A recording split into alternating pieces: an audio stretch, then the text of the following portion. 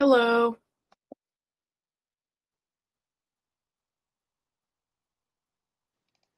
Welcome, my name's Emma. I'm going to be your host for this training simulation.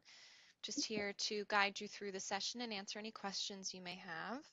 So we have about 25 minutes for you to complete this scenario and then reflect on that experience.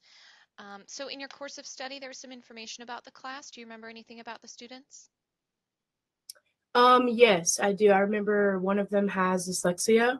Mm -hmm. Correct. Mhm, Yes. And they're uh, third graders. So, mhm. Yes. Uh, Emily is the student with dyslexia, um, and so and that's and- they'll have name tags, so you'll be able to identify her. Um, but okay. so today you'll be teaching a geometry lesson on types of angles, and really your goal here is just to implement at least one accommodation designed to increase learning for students with dyslexia, and then determine if that accommodation did help. All right. Okay. So, um, any questions about the scenario? Um, so they don't have any prior knowledge to the angles at all? No. Okay, okay. Then that's all. Right. All right. Uh, so before I bring in the students, do you have any accommodations in mind for this class? Yes, I do. Mhm. For um the dyslexic student, I think I'm going to like I know how um the acute and obtuse angles can get kind of confusing. She could get them mixed up. So. I'm going to use like the word cute in a cute, how you associate cute with something small. So I think that would help a lot. Okay. So some some sort of like mnemonics and things like that. Some uh, Yeah. okay, great. Um, so uh, have you worked with Mursion before? No, this is my first time. Okay, great. Welcome. Uh, so just a little bit about the program. Um, the students can all write and raise their hands, but there are some limitations to their program. For example, if you ask them to mimic the shapes of angles or something like that, they can't do specific gestures like that. And they can also not speak in unison. They can only speak one at a time. So for example, if you ask them to repeat back vocabulary to you, it's probably best to ask them individually to do that. Um, but other than that, feel free to treat them like you would any live student. And if you feel stuck or if you have a question at any time, you can just say pause out loud and I'll come back and I'll clear up any questions that I can and then you can pick right back up where you left off in the scenario. All right, um, any questions on the program? Um, I was watching some examples on YouTube and I saw how they let the students pair up, but you said they can only speak one at a time, so I wouldn't be able to let them pair up. They can pair up, yes. They can speak with each Okay, okay. other simultaneously, but if you ask them to speak to you in unison, they cannot do that. Okay, got it. Got it. Great. All right. Um, so when you see the students appear on the screen, you can take a minute, uh, get used to the environment, build a little rapport with the students. Feel no need to go right into teaching. And then you'll have about 20 minutes to teach your lesson. And then whenever you feel like your lesson is complete, you can excuse them to recess. You do not need to take up the full 20 minutes, just when you feel like you've achieved the goal. Um, but if I do ha happen to interrupt you mid-lesson, it's not a reflection of your performance. It's just so we have time to debrief at the end. All Okay. right. Any final questions? No, ma'am. Thank you. right. You'll see the students in just a moment.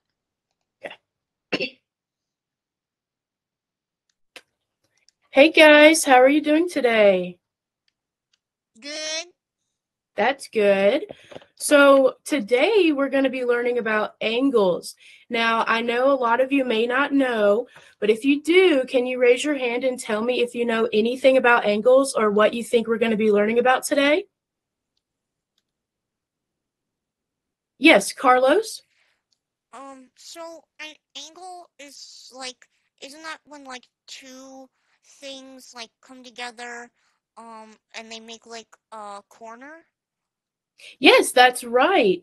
Um, and that corner is called a vertex. So I'm going to draw a right angle for you guys real quick. And a right angle is almost like an L shape. Now, you don't have to do it now. You can practice later. but when you see a right angle, it always looks like an L. And what Carlos was talking about, right here where the points meet, you can fit another L.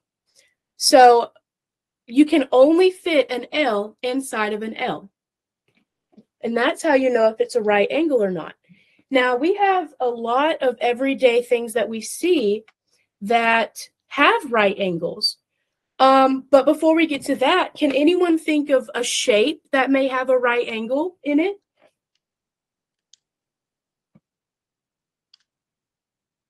Jayla, yes. Um, like a square?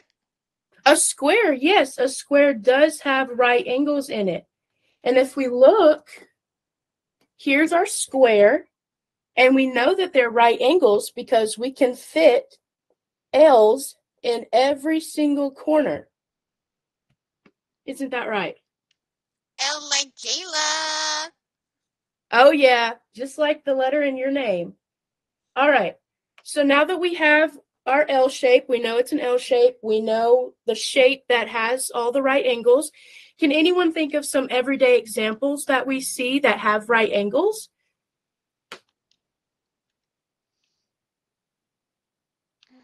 How about, oh, yes, Mina?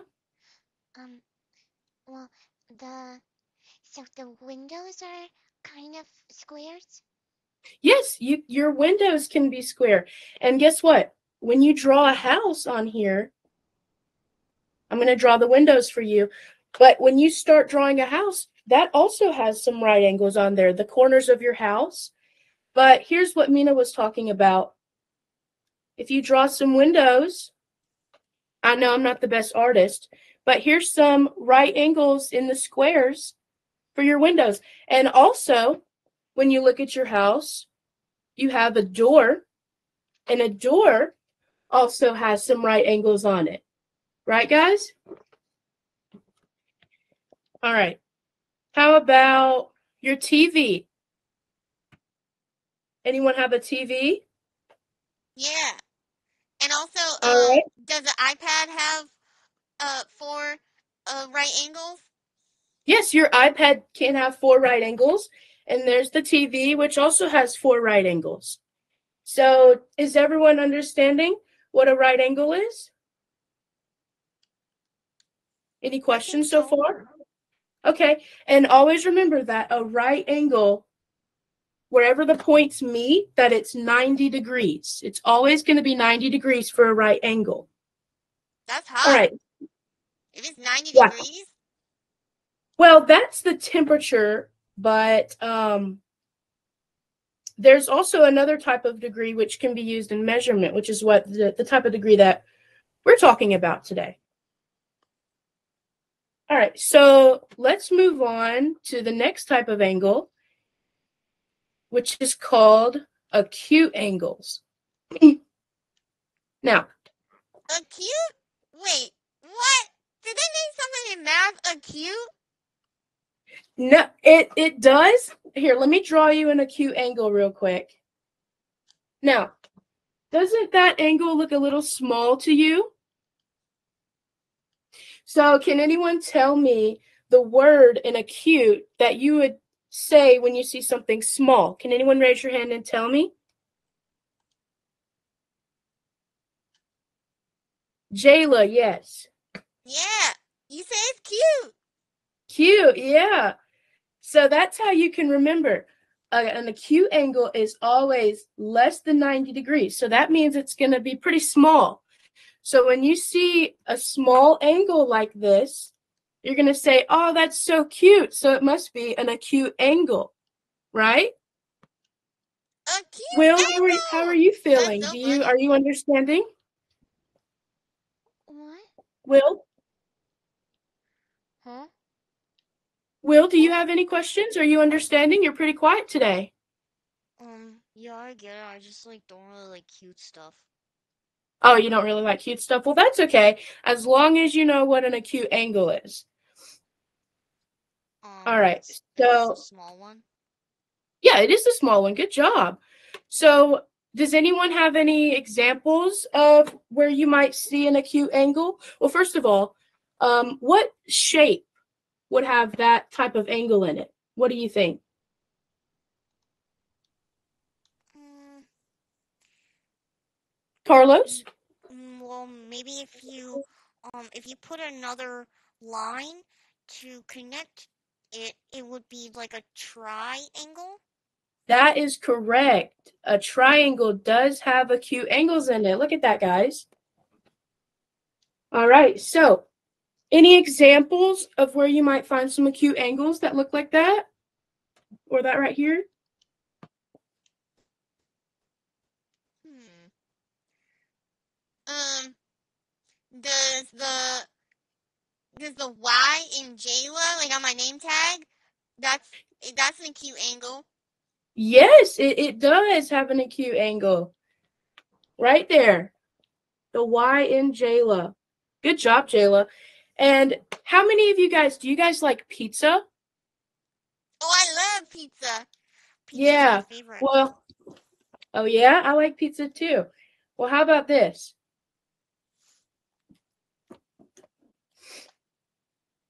Look at that. We have a slice of pizza, and that makes an acute angle. All right, and um, also, who likes watermelon? um, I really like watermelon. You do? All right. Well, next time you cut a slice of watermelon, that also makes an acute angle. So, um, like anything that's like a slice, anything that's like a slice is like an is acute angle. Well, not always just a slice because some slices can be in squares and those can make right angles. But anything that's a slice that makes a small little point at the end, that it can be an acute angle. Yes. And you can also, here, I have another example. I have a fan right here. And if you open it just a little bit, that's an acute angle. And if you open it all the way right here, can we tell that's a right angle? Because it's an L shape.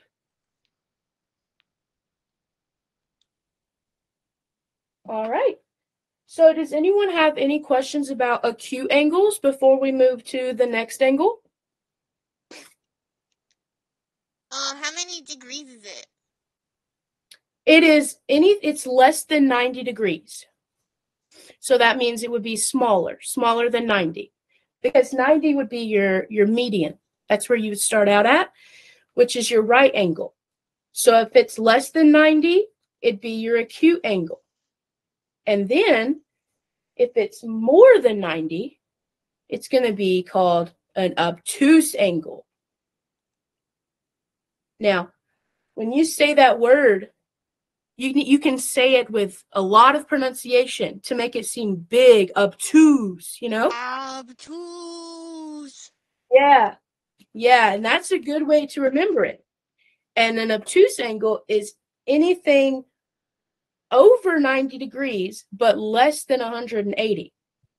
Now, the angles that are more than 180 degrees are angles that we're going to learn later on, okay? But for right now, all you need to know is that an obtuse angle is more than 90 degrees and less than 180 degrees. So let me draw an example. All right, so here we have the right angle, which is the L shape. Here we have the acute angle, which is really small. And here, you have a question? No, I just like saying uh cute. Oh, yeah. And here we have the obtuse angle. Doesn't that look big, guys? Obtuse. Yeah. So I have an example right here. Have you ever looked at a clock and think, I wonder what time it is? Well, if it looks like that, we have our straight line and then it goes outwards. That is an obtuse angle. What angle is this? Let's see. I haven't heard from Mina in a while. Mina, can you tell me what angle that is? Um, uh, if it's like it's like a square, so it's so it's a right angle. Good job. Good job. And Will, can you tell me what type of angle that is? Um, that's uh, that's like the one Jayla's. It's a acute angle. Yes, good job, guys. I'm very proud of you. You're catching on. So if we take one of our math books and we open it all the way out here, Emily, what do you think the type of angle that is? Um, if it's uh, if it's big, Uh-huh. um, a a obtuse angle. Good job. It is an obtuse angle. You guys are doing so great. All right. So now that we have all of our angles in mind and we're all on the same page, I'm going to give you guys, I'm going to write some examples on the board and I'm going to give you guys um, a little pop quiz. And then after we're done with our little recap, I'm going to give you guys um, some homework to do. Does that sound good? I don't really like homework. Well, actually, um, it's it's pretty fun. It, it it involves you going outside and looking around, and you know, taking pictures or writing down stuff. But we'll we'll get to that in a second, okay? All right. So right now we're gonna do our pop quiz. Now I know pop quizzes aren't that fun, but it's just to let me know where you guys stand with the knowledge of angles, okay? So our first question is going to be which angle is always 90 degrees? Which angle? Can anyone raise their hand and tell me?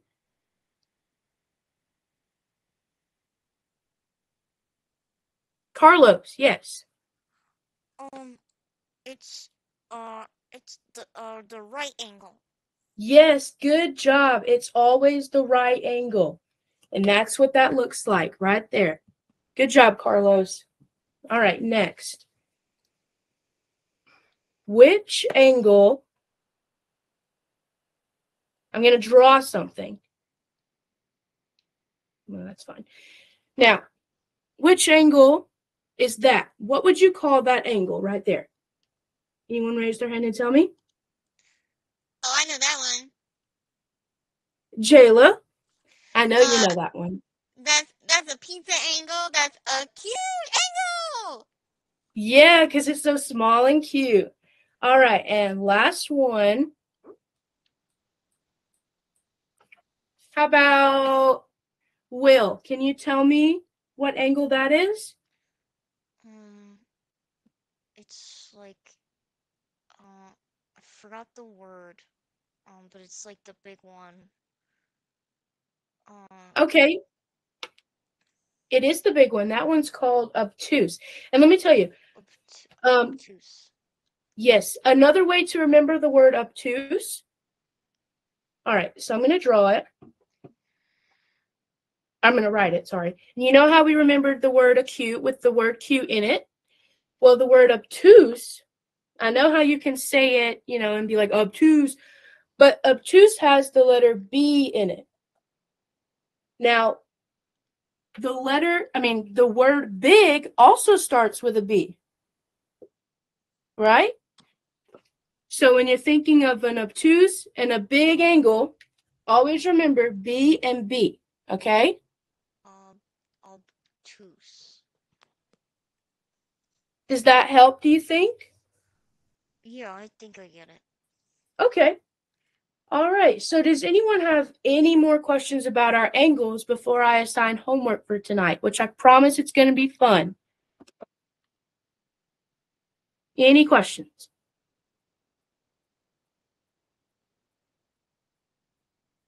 Emily, you have a question? Um, no, I um, I don't know if I can do the homework. Okay, why do you why do you think that? Are you afraid uh, that you're not I what is it? don't- I don't get it. Okay, can you tell me what you're not understanding? And I'll try to help you. Um, what?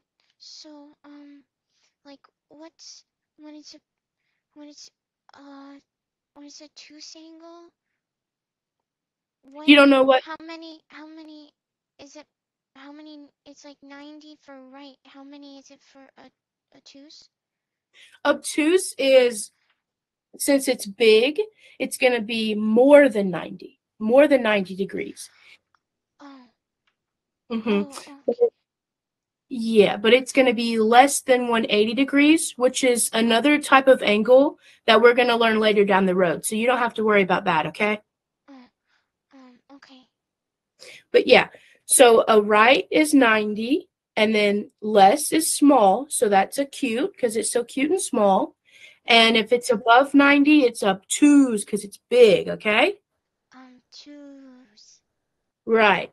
So you feel a little bit better now? Um. Yeah. I. I think. Okay. Yeah. Okay, well, good. All right, does anyone have any more questions before I give you homework? No? All right. So for your homework, you're gonna, when you get home, I want you to, if you have an iPad or a phone, or even if you want to write it down on a notebook, if you don't have that, I want you to find two examples in your house, in your neighborhood, or anywhere you go, two examples of a right angle, two examples of an acute angle, and two examples of an obtuse angle. Okay, just find two of each and then bring it in class tomorrow and you know show me your pictures show me your um, notebooks and we'll discuss it from there okay guys? Does that sound good? All right you guys seem to get it all pretty good so i'm gonna dismiss you and hope you guys have a good day okay All right, great. Welcome back.